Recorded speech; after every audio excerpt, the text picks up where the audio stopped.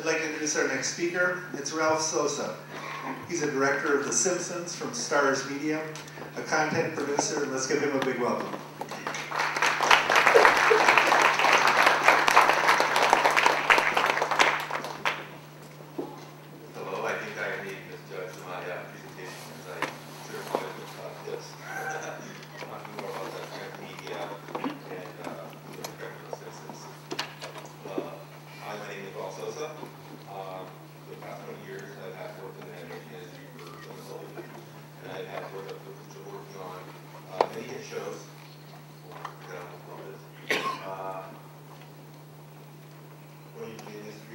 I work on that.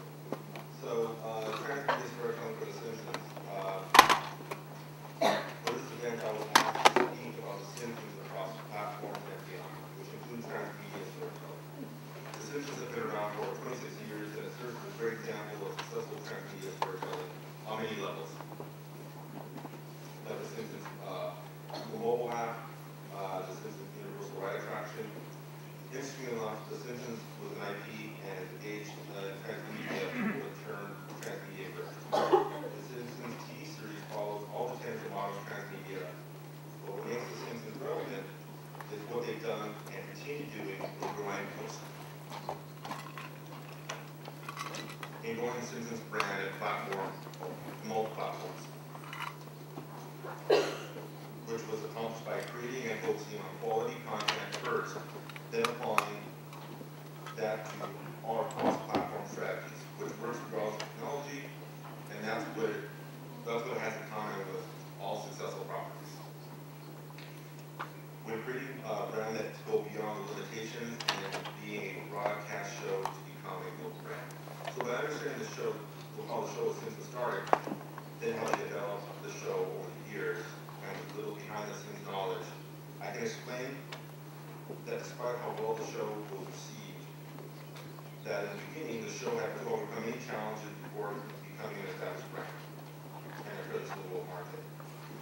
And but once they established the show that I was loved, they moved to expand the universe by targeting their audience on their podcast. Plus, probably they leverage what most audiences um,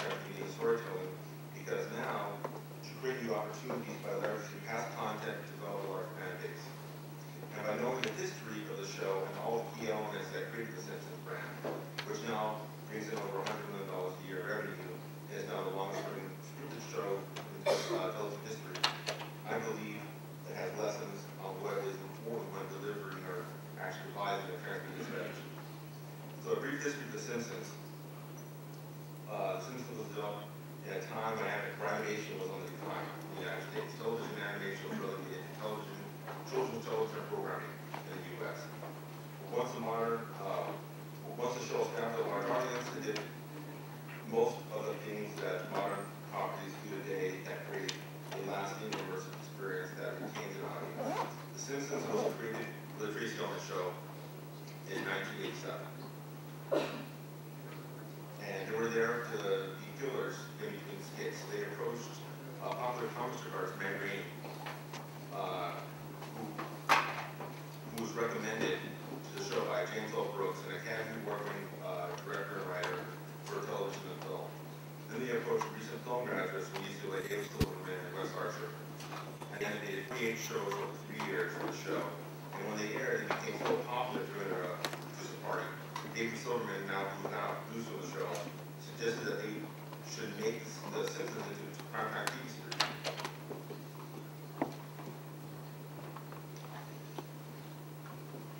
Which up to that point, there wasn't any precedent for a show like that at the time. The last animated uh, show on primetime was Flintstones in the sixties.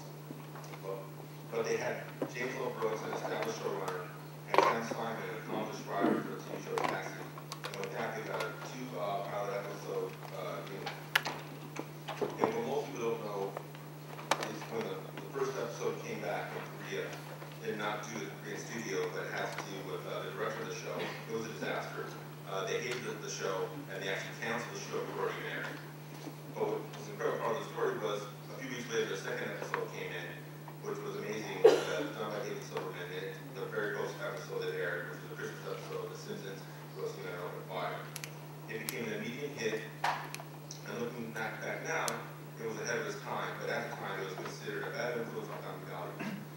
The early episodes started as Bart-centric, but the stories were too limited, and so they had to then move on to the, uh, focus on the father, Homer Simpson, and they had to change his personality from the shorts where he was uh, more an angry, brooding father to more student level.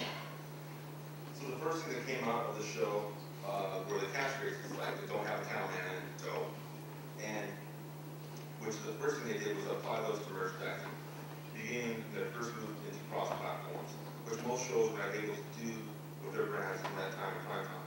And to capitalize on success and to gain more interest, the series got actors like Dustin Hoffman, Albert Brooks, and even Michael Jackson uh, to guest uh, voices, which elevated the show's status. From there, they experimented with creating a song and a music video called Do the Bartman,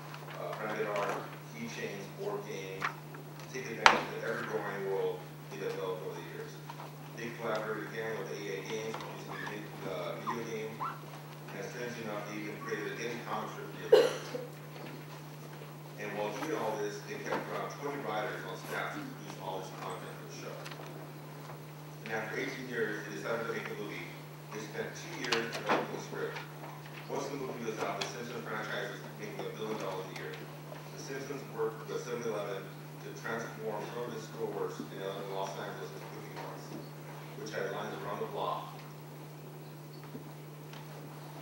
They produced more varieties of video games and starting to create immersive content on the web to show off, showcase some of the voice acting talents of the Homer Simpson and, uh, Bart. Uh, sorry about that.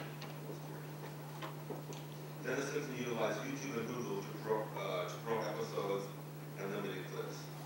Then they made the 3D Homer experience, a 3D Homer experience for a university symposium, which Homer walks onto stage and interacted with the audience. Then they approached uh, famous uh, artists like Banksy and Guillermo del Toro to take, have their own take on the couch gag that, that begins in every episode. So this is just like a long kind of history of what they've kind of done as trans, as a transmedia platforms to kind of build a brand. And from there, they went into do, uh, a, a mobile platform, Tapped Out, uh, which is currently out, and now they've been able to produce, uh, projects like Sarah's Coffee and George, along with Daycare, featuring Maggie Simpson. And this year, they sold the syndication rights to FXX cable network, and now they're creating an app that you can see any of the show content on demand also from them. We're working on more platforms that I can't really divulge in future plans. But as you can see, we have consistently expanded on platforms throughout the years to keep the show's awareness high while adding more rich content to the fan base. This is how the Sims create billions of revenue, and has kept the show fresh and relevant despite having almost six hundred episodes. And recently, they have played all the episodes for twenty-four hours a day, which took fourteen days to complete. While many in the industry thought that would not be a successful, uh, plan, it ended up giving the struggling network FXX the highest ratings they've ever had. The Sims have made risky decisions when developing new platforms, but they understand the value of great, uh, the great storytelling and spending resources on new content with the same resources as the show. So the basic rules of, for successful transmedia in the perspective of The Simpsons is, for The Simpsons, even platform, we understand that having great content and stories to tell is primary focus to extend the show's mythology or themes. The Simpsons works well as a brand because it's relatable and accessible to its audience. Because it's a broad animated family comedy, which gives them many advantages. Since the show's perspective is seen as a caricature of modern family struggles through the lens of animation, where stories can be parodied for dramatic comedic effect. So with that said, what are the main rules or guidelines for a good transmedia storytelling strategy from the perspective of the Simpsons? Well, for, the first thing is to have relatable stories. The Simpsons works well with this because it shows a town full of archetype characters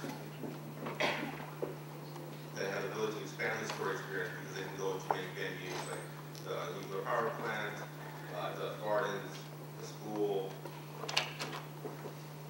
Besides having good stories, knowing your genre, genre demographic, and the to implement your audience, the Simpsons demographic is large because it's a Spanish show, and that lends itself to a wide range of advertising, uh, advertisers compared to more adult shows like uh, Family Guy.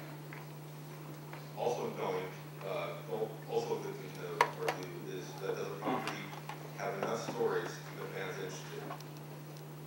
So that it warrants spending time and resources to create content for other platforms. Also, do you understand what is a trend, what's trending regarding your show's genre using big data? Do you know what platforms your audience is using?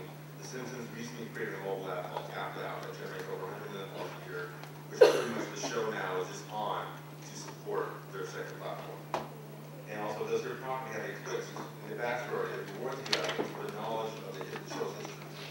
And what can you bring to the genre that no one else has done yet? The Simpsons has done this when it was created by using parody and satire to reflect on modern culture, which kept it, its content relevant. Also, can you bring the property content to the market in a timely manner, since trends quickly change if you cannot stay current? Well, sorry, since uh, trends change so quickly, if you cannot stay current, the content created can be dated. The Simpsons show promote, uh, promotions related to current events like the last presidential election, and also the characters show up on other, uh, popular TV shows. And basically, you can answer some of these questions you're a property, you're at a certain point. Because most people I speak to when I deal with uh, studios in Korea right now, don't have answers to these questions. And, uh, the second qualifying questions are the next level of diligence that needs to be considered when trying to, uh, have a property developed to go into, uh, transmedia platforms is, are you capable of collaborating with established brands to leverage media awareness, creating a synergy with other brands and product lines to make it, to make that worthwhile? What would be the content strengths regarding cross-platform partnerships? The Simpsons developed their brands with selected partnerships with Nestle, Universal Studios, and other merchandising brands and video companies like EA. Also, is the content created relatable enough to the audience that they can identify with? The Simpsons world is full of archetype characters, misunderstood, like, you know, the, the, the kind of the, the bungling, uh, police officer, the town drunk, the nerdy best friend. Uh, also, can you actually, uh, develop accessible content on different platforms to enhance it, uh, to enhance audience connection and engagement with the property? Uh, many properties make platforms that are either too hard to find or navigate.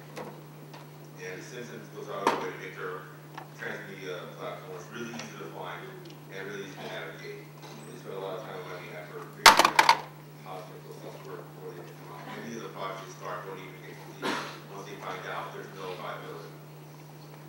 And also, for kind of, uh, for what transmedia giving access to celebrities, which would develop media awareness.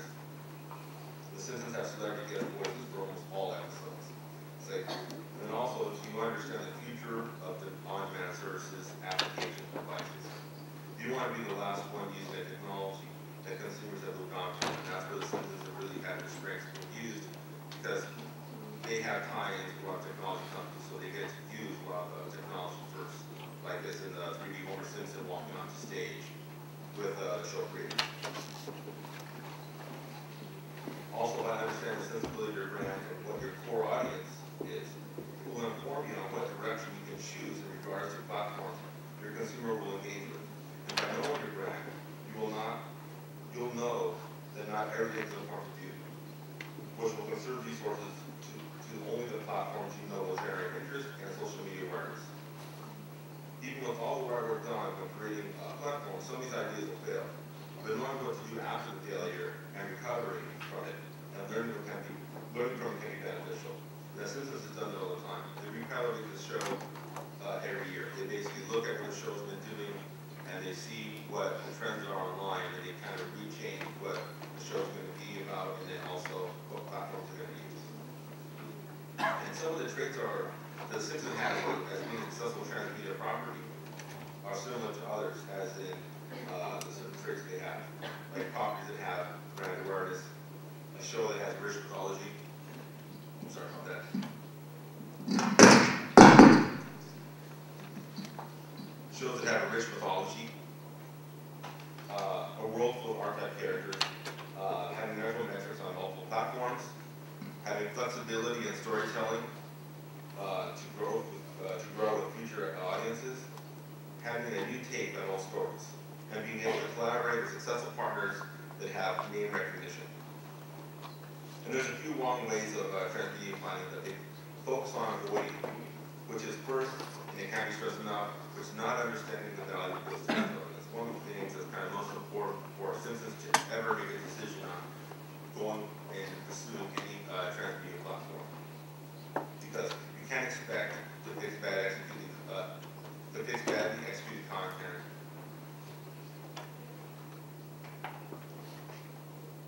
with a, with just any kind of transmedia plan. I've advised on projects that had bad actor sequence and jokes, and, um, sequences that were not even and suggesting solutions, they refused to fix it despite all the money already invested. When the Simpsons movie was completed,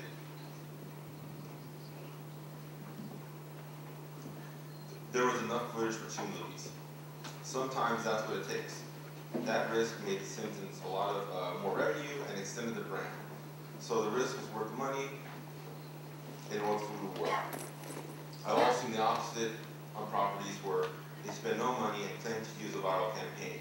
But if the content is not great, the content, if the, if the, if the content is, uh, not good, the ideal will not go viral once, once online and will never happen without great content. So you need to invest enough on resources, which is not always, uh, money to create new platforms. Also, using a textbook method of transmedia is not always the best approach. It's not a one-size-fits-all strategy developing a property or a platform. It's basically usually unsuccessful. That's why knowing your demographic is so important because whatever you decide to do, knowing your demographic will suggest will be good use of resources. The worst strategy is to spend money on something you don't know if anybody wants, which happens a lot in the industry they work in. The Simpsons have made it easy and convenient with their transmedia content that they fill it with more than is required or expected by the consumer. And what I've seen a lot of are properties spreading, uh, content too thin. Uh, doing too much content to try to win people over, but, uh, but it ends up being mediocre. You're better off producing fewer, stronger ideas that are great, and that your audience will be excited to spread on social media. The Simpsons consistently, uh, is broad ideas from outside vendors, and rarely do they choose only a few that they feel will resonate with audiences. Another platform, another problem I see is not researching similar content regarding your brand. That's usually the case of death when it comes to developing any property. I've seen so many pitches that either do not understand what they're trying to do, or what they're trying, or they're trying to be too many things to too many people, or doing something too simpler to another property. The Simpsons is not Park or Family Guy. They go to great lengths to differentiate their brand experience so the consumer knows exactly what they're receiving through all their platforms.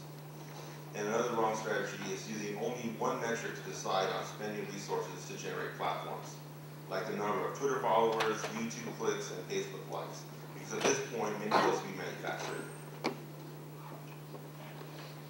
And to relate this to my experience between uh, developing properties in the U.S. and the Korean market, is Korea's attempts to break in the U.S. market with their native content hasn't fared very well yet. There has been some moderate successes, but it's nothing like Korea's manufacturing successes, which is outstanding. Where I see the critical problem is when it comes to creating properties and trying to use the same methods of manufacturing physical product, is that developing a product and developing a strategy for content is completely different. When developing properties that you want to deliver to a market, there are a few consistent things that I've noticed. One problem that I see a lot is, one is the need to research the market that you're trying to get into, which is not just big data,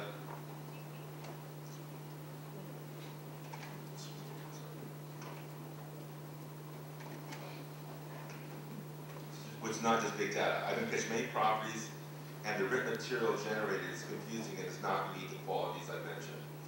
And U.S. investors and studios won't normally explain this to the Korean studios, and, but they will be nice and encouraging, but from my experience, they almost never say yes.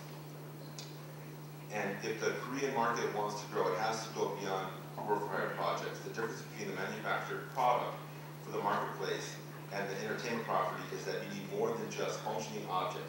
You need more than just a functioning object. You need to have an audience willing to give their free time to experience your content or engage with it. And we're in a fragmented market where all platforms are competing for the same uh, consumer's attention, which makes retaining an audience difficult, and that's why content is king, and that's why The Simpsons constantly focuses on trying to develop the stories and also developing their world that expands, but also fits in with their family genre style. And examples of uh, successful, tra- uh, uh, successful transmedia strategies of other of other popular uh, properties are. Oh. Uh, what is similar to all successful properties is their is their content has strong mythology and that they're filled with characters that are that follow archetypes that ultimately resonate with uh, audiences.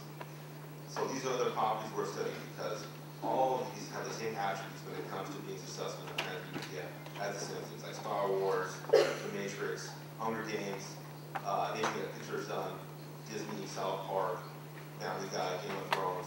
All those shows have the same thing, kind of rely on mythology that has a backstory and history, and then also archetype characters that you can easily understand, like either hero myth,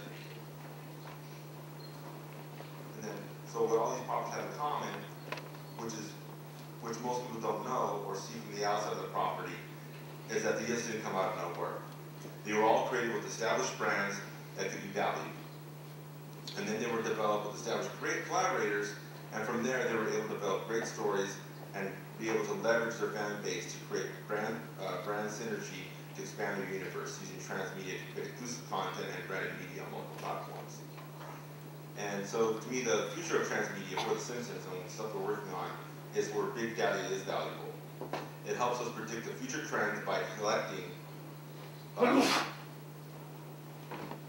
it helps us predict the uh, future trends by collect, uh, by collecting uh, viewers' habits and information gathered from social media platforms. which enables The Simpsons to create content to individual fans that will be delivered on demand to our fan base on emerging platforms that will also suggest and predict future interactions with the consumer based on the preferences of episodes, characters, and themes, which will enrich the user's experience and will grow the fan base. These projects have already begun with the Simpsons coming applications and future projects. So the Simpsons know one thing in particular is that the audience are searching for escapism in the form of entertainment. And when an audience watches TV or movies, they don't necessarily remember all the themes or even the main story. But what they do remember is a funny gag, crazy situations, interesting characters, and incidents and conflicts that emotionally connect. And that's what becomes viral and ends up on social media. And that's where we expand our fan base. So what you're really trying to engage, to do, is engage the casual viewer to become more connected with the content so that they seek out more of it and want to relive that experience with others. The Simpsons has done this while exceeding the fans, uh, fan, their fan base's expectations. So I think I hurried through this uh, pretty quickly, but uh, I hope this helps you in your journey in developing properties and creating a transmedia strategy for your property. I appreciate the opportunity to speak with you all today, and I'd like to thank KOCCA for inviting me